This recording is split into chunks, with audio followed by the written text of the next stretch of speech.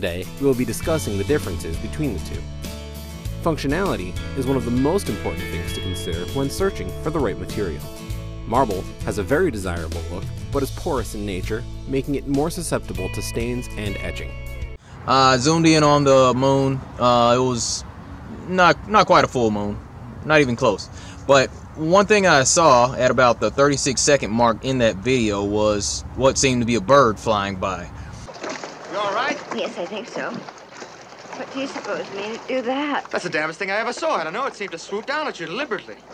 I found that to be a little odd because we're told, according to the heliocentric model, that one, the moon is supposed to be a distance of around 239,000 miles away, and two, that there are supposedly thousands of satellites between the Earth and the moon, and those are supposed to be observable, just as observable as some people say that the International Swimming Station is in the air.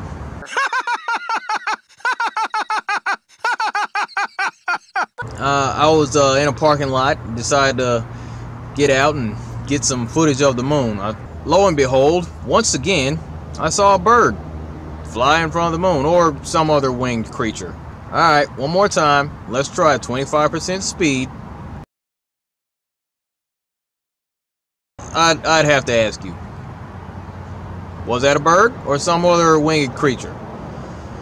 You know, these are questions that we need to ask ourselves. Who's taking these drugs? What would be the point? I'm asking questions. If the moon's supposed to be so far away, why is it that we can see birds between us and the moon, but we can't see any of those satellites that are supposed to be up there? Since, you know, the 70s, we've been sending satellites out into orbit, and they should be swarming the night sky, and we should always see these satellites moving in front of the moon. We see birds flying between the moon and the Earth. So I gotta ask you, where are those satellites? Why don't we ever see them? A satellite and a bat are two very different things. One is a small rodent, easily viewable with the naked eye as it flies a few hundred feet above your head at about 10 to 20 miles an hour. A satellite is a mechanical box buzzing around the Earth a few thousand miles above your head at 100,000 miles an hour. The truth is, your P900 does not have the zoom nor the resolution to do what you're asking of it. Any satellite you get would be nothing more than a pixel at best, and I highly doubt you would notice it. That being said, with the proper equipment, research, and enough patience, you can take a photo of a satellite.